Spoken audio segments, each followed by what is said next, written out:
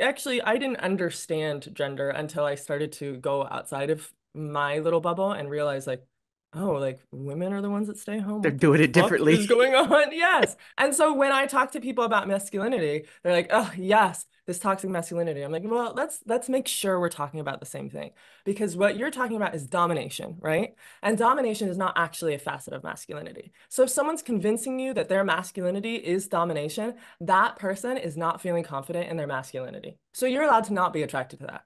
But I want to be masculine with you. I want to celebrate all the things that are masculine, that are playful and confident and goofy and suave. I want to celebrate all those things with you without you ever fearing physical violence or mental violence. So that's non toxic masculinity for me.